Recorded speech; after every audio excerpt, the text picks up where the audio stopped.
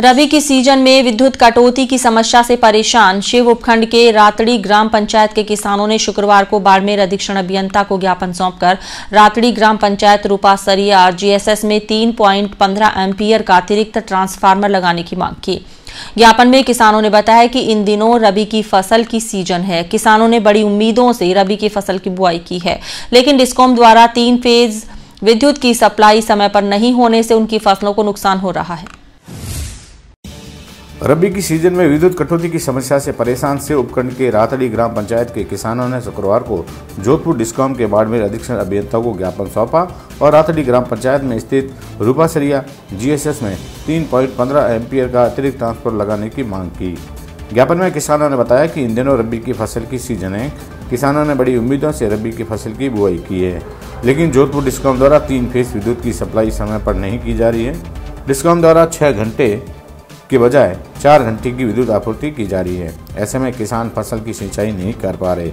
लंबे समय से त्रस्त किसानों ने अधीक्षण अभियंता से रूपासरिया जीएसएस में अतिरिक्त ट्रांसफार्मर लगाने की मांग की। किसानों के मुताबिक रूपासरिया में अतिरिक्त 3.15 एम्पियर का ट्रांसफ़र लगने से सभी किसानों को नियमित रूप से विद्युत आपूर्ति सप्लाई मिलने लगेगी। किसान रातड़ी ग्राम पंचायत के रूपासरिया जीएसएस से आए हैं। जो किसानों को थ्री फेस की जो बिजली सप्लाई मिल रही है वो टाइम पे नहीं मिल रही है और उसमें भी छः घंटे की बजाय चार घंटे लाइट दी जा रही है और वहाँ बताया जा रहा है आई और जेएन के द्वारा ये ट्रांसफार्मर की कमी की वजह से है। तो तीन पॉइंट पंद्रह एम्पियर का एक अधीक्षण अभियंता से मांग करने के लिए सभी किसान आए हैं कि वहाँ एक नया ट्रांसफार्मर और स्वीकृत किया जाए ताकि सब फील्डों के अंदर बराबर लाइट दी जाए।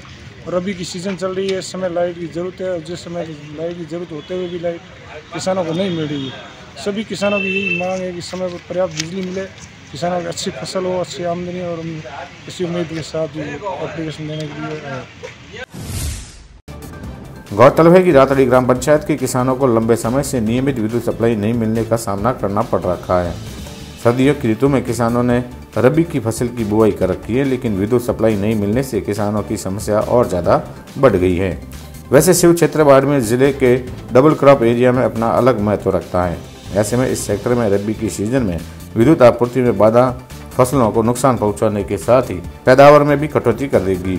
इस समस्या के चलते किसानों ने डिस्कॉम के अधीक्षण अभियंता को ज्ञापन के ज़रिए रूपासरिया में 3.15 एम्पियर का अतिरिक्त ट्रांसफार्मर लगाने की मांग की, ताकि किसानों को तय समय अवधि पर घंटे बिजली मिल सके और वे रबी की फ़सलों की सिंचाई कर सके।